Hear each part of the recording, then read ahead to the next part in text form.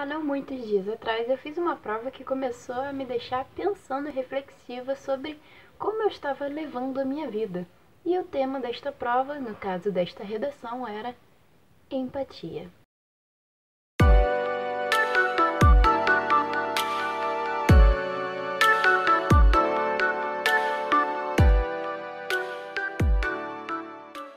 Oi, meus caros, sejam muito bem-vindos a mais um da Ida para ouvir, meus anjos. E hoje sobre empatia. É, depois que eu fiz aquela prova, aquela redação, eu saí olhando para o mundo ao meu redor e me perguntando se eu realmente era uma pessoa, se considerasse uma pessoa que sente o que o outro está sentindo. E a minha resposta automaticamente foi não. Eu ainda não me importo o suficiente com as pessoas. E isso é uma coisa ruim, é uma coisa que eu tenho que melhorar. E talvez você pensando sobre isso, você chegue à mesma conclusão.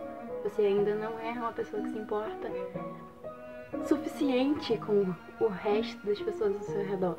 Hoje em dia nós vivemos numa sociedade em que está muito individual, tudo muito egoísta, todo mundo pensando no seu bem, no seu bem-estar, e às vezes infringindo o direito das outras, sem lembrar que quando você não pensa no outro, automaticamente aquilo também te fere.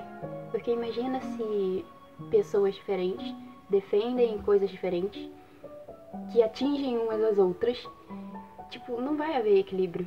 Mas se uma pessoa sente o que a outra está sentindo, é bem comum que a outra também consiga entender o que você está sentindo. Empatia é uma coisa às vezes tão, tão simples, é uma coisa que você pode praticar, cultivar dentro de você pelas outras pessoas. Às vezes a, a empatia ela tá em você perguntar como é que seu amigo tá e se tá tudo bem e você olhar para ele e ver se realmente o sim dele é um sim verdadeiro, um sim genuíno, se ele realmente está bem, é se importar. E se ele não tiver, você realmente sentir, sabe, se compadecer. E a minha pergunta, quando eu tava fazendo a redação, né, enquanto eu escrevia, né, a redação foi, mano, como, como tornar o mundo mais empático? Como tornar o mundo um lugar em que as pessoas pensem umas nas outras? É, eu não tenho essa resposta.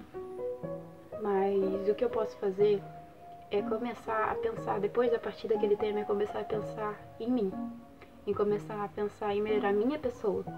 E você, depois de ver esse vídeo, depois de pensar sobre empatia, nos seus conceitos de empatia, e em como você tem sido com o mundo, você começar a pensar também.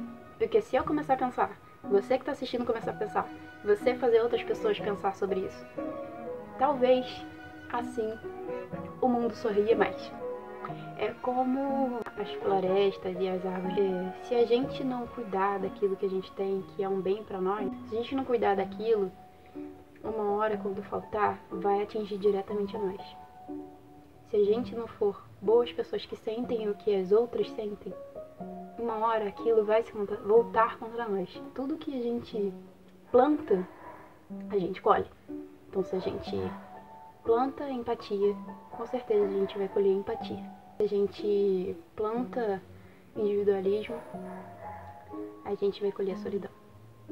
E é isso, meus amigos. Até o próximo vídeo.